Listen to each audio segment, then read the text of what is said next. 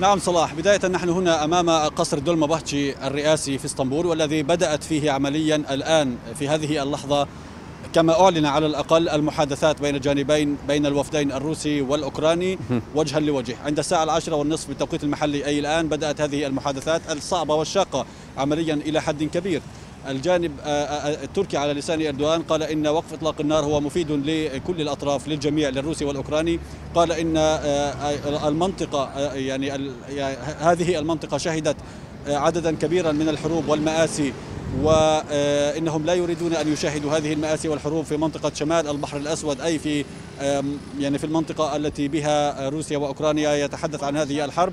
وإنه إذا إن تركيا لا تلعب دور وساطه رسمي وأنه إذا ما طلبت الأطراف منها ذلك فإنها مستعدة للعب دور هذه هذا هذا الدور أو هذه الوساطة بحسب ما قال بمعنى أنه يتحدث عن دور وساطة غير رسمي حتى هذه اللحظة.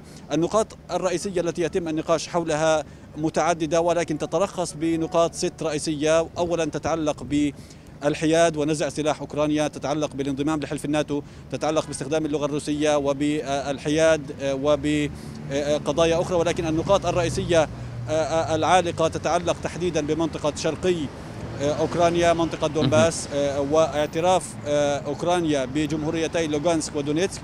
وتتعلق أيضا بمنطقة شبه جزيرة القرم وهما النقطتان اللتان تشكلان عقبة كبيرة أمام هذه المحادثات. كما قلنا المحادثات ليست هل من مساعي علام هي صعبة إلى حد كبير وهذا الأمر أقر به. هل من مساعي تركيا لتقريب وجهة النظر ما بين الطرفين؟ بالتأكيد صلاح فكرة عقد المحادثات في إسطنبول أو في تركيا عموما هي فكرة مهمة جدا وتركيا تسعى بشكل حثيث مع الجانبين لتقريب وجهات النظر في كل الملفات العالقة ولا سيما القضايا الرئيسية التي عليها خلافات كبيرة. نحن نعلم أنه من بعض القضايا من الممكن أن تكون هناك تفاهمات أو يعني توافقات ما بين الجانبين بصيغة معينة بين الجانبين الروسي والأوكراني ولكن هناك ملفات معقدة جدا وبالغة الصعوبة في هذا الأمر من هذه الملفات الصعبة ما ذكرناه قبل قليل شرقي أوكرانيا وشبه جزيرة القرم.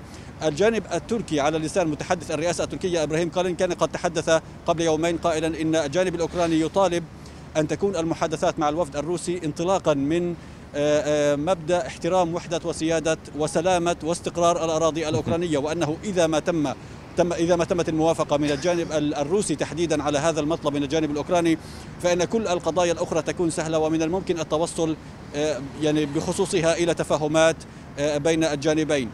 ولكن هي العقبة الأكبر. هذا هو هذه هي العقبة الأكبر أن تعترف روسيا بأن هذه المحادثات هي وفق هذا المبدأ لأن هذا يعني أن شرقي أوكرانيا وشبه جزيرة القرم هي ضمن الأراضي الأوكرانية طيب. وهو ما لا تريده نتوقف عند هذه النقطة علام يعني على الجانب الآخر كان هناك تصريحات روسية بأن هذه المفاوضات لن تحدث انفراجا في هذه الأزمة. هل من ردود فعل تركيا حول ما صرحت به روسيا مؤخرا حول هذه الجولة من المفاوضات؟ تركيا يعني تتبنى موقف الحذر الشديد في التصريحات صلاح. لا تصدر تصريحات كثيرة ولا تصدر تصريحات عشوائية. هي حتى على سبيل المثال وزارة الخارجية التركية لم تصدر حتى الآن أي بيان بخصوص هذه المحادثات حتى بعد أن بدأت الحديث عن هذه المحادثات في إسطنبول مستمر منذ يومين ولكن حتى الآن وزارة الخارجية لم تصدر.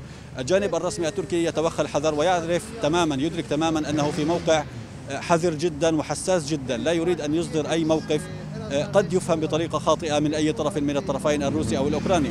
هو يقول إنه يقف على مسافة واحدة من الطرفين الروسي والأوكراني في هذه المحاولات للوساطة غير الرسمية بين قوسين وأنه رغم أنه يقف ويعلن أنه يعني يتضامن بشكل كبير إلى يعني مع مع الجانب الأوكراني إلا أنه يقول إن على الجانبين أن يقدما تنازلات وأن يصلا إلى توافقات بينهما في هذه المحادثات، الجانب التركي يعول كثيرا على هذه المحادثات التي تعقد الآن في خلفي في قصر دولمبهتشي هنا في إسطنبول، ولكن هو في نفس الوقت يقر بأن يعني الصعوبات كبيرة والتحديات كبيرة وال وال والمهمة ليست مهمة سهلة بالمحصلة. لأنه يدرك أن الموقف الروسي والمطالب الروسية بين قوسين التي وصفها وزير الخارجية الأوكراني في وقت سابق بأنها شروط استسلام عمليا بحسب ما يرى الجانب الأوكراني.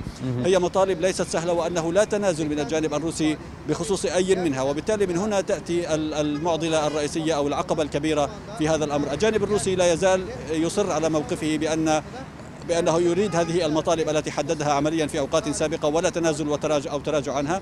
وموضوع دونباس أو الجمهوريتين الجديدتين لوغانسك ودونيتسك بالإضافة إلى ملف القرم هو العقبة الأكبر في هذه المحادثات. روسيا تريد أن تعترف أوكرانيا بأن هذه المناطق ليست منها نهائيا انتهى الأمر.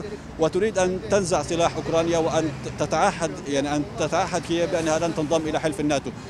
الملفات الأخرى سهلة ويمكن التوافق حولها ولكن هناك ملفات صعبة ومعقدة ومن هنا حتى الجانب التركي يدرك بأن هذه المحادثات ليست سهلة ويقول إنه ربما من الصعب أن تصل إلى التفاهم، ما يريده الجانب التركي الآن على الأقل هو هدنة إنسانية. ولو لمدة 24 ساعة، أن تخرج هذه المحادثات الآن التي يستضيف التي يستضيفها للمرة الثانية بعد اجتماع وزراء الخارجية في العاشر من الشهر الجاري في أنطاليا جنوبي تركيا، يريد أن يخرج على الأقل بوقف إطلاق نار ولو مؤقت ولو لساعات ولو ل 24 ساعة ليقول بأنه خرج بنتيجة ما ولو كانت بسيطة أو ضئيلة. ولكن على المستوى الأوسع هو يريد وقف دائم لإطلاق النار.